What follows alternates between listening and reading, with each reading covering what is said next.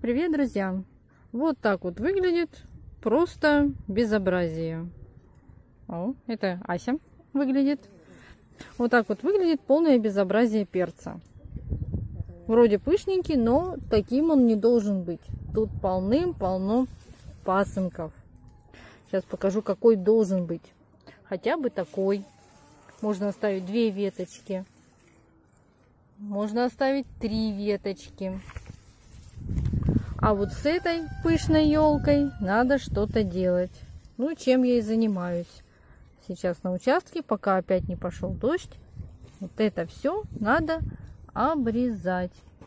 Вот даже как заснять. Сейчас.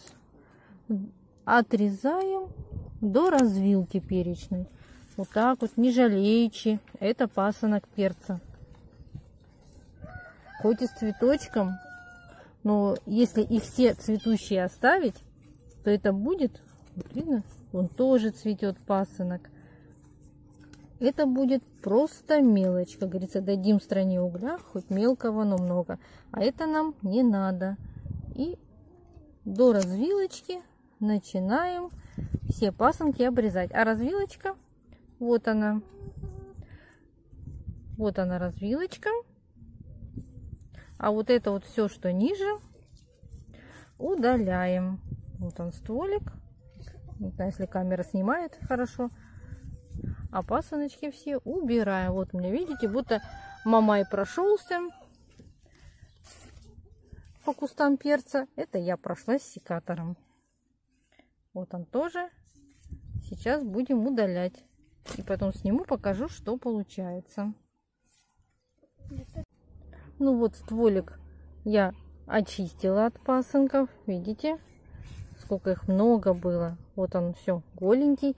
Даже э, почки, которые закладывали бутончики, их тоже я удалила. Можно секатором, можно просто ногтями подковырнуть и обрезать. И у нас осталась макушка. С макушкой тоже надо разобраться. Если куст сильный, можно оставить три основные веточки.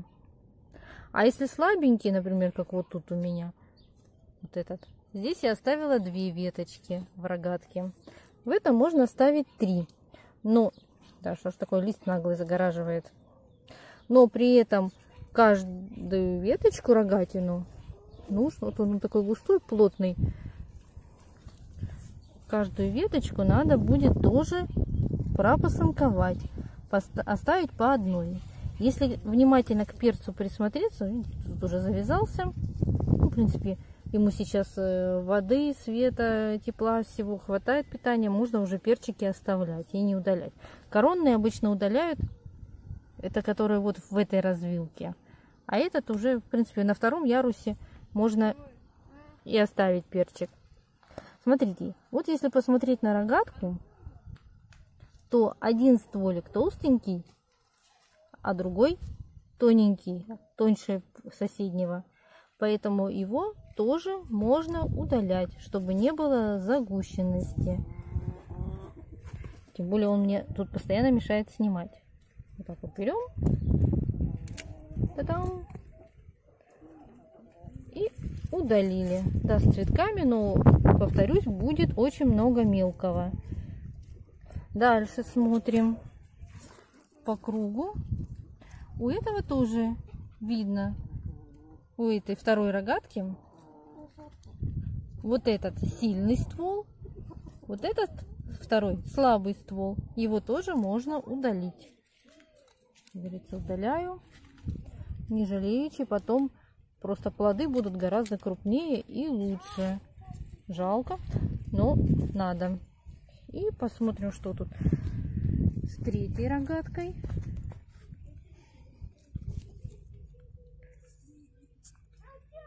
Так, дети шумят, они помогают выдергивать траву. Вот тоже толстенький стволик, слабенький стволик. Удаляем. И получается как будто по кругу. Работаем по кругу и кустик освобождается. Если кустик уже более-менее подросший, то можно увидеть и следующий этап.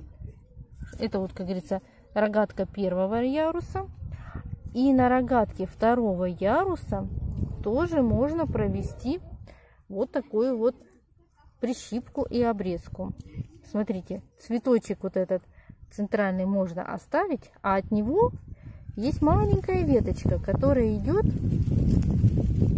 видите, идет веточка, направленная вовнутрь куста. Вот ее можно аккуратно прищипнуть. Ну, в принципе, можно и ногтями. Вот так вот, оп. И мы ее удаляем. Смотрим на другую развилочку. У нее тоже, видите, вот цветочек. Вот пошло продолжение ветки.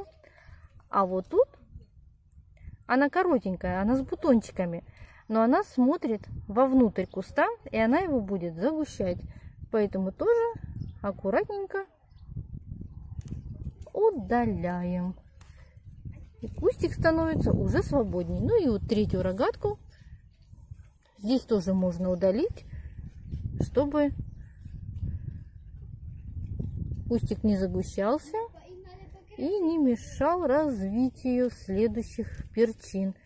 И вот какая была пышная юлка. Вот не, не успела сфотографировать. Вот. Какая была пышная елка, а превратился вот такой вот кустик.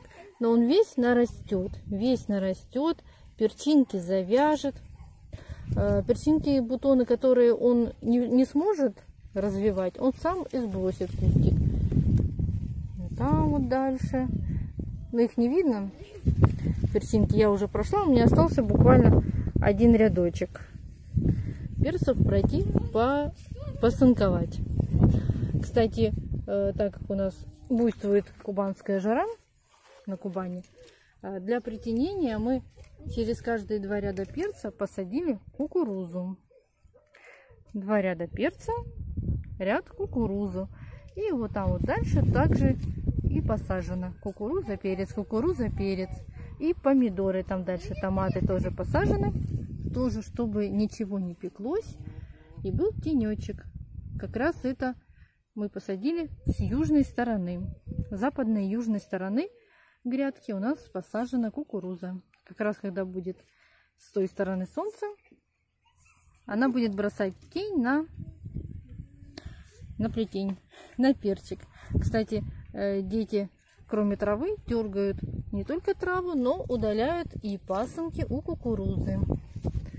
Это, в принципе, несложная наука. Просто выделить центральный ствол, а все остальные пасынки секатором дети отчикивают. Так что помощники подрастают.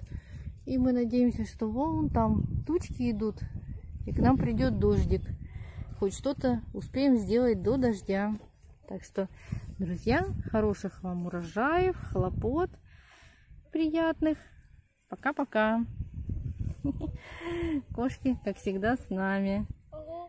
Пока-пока.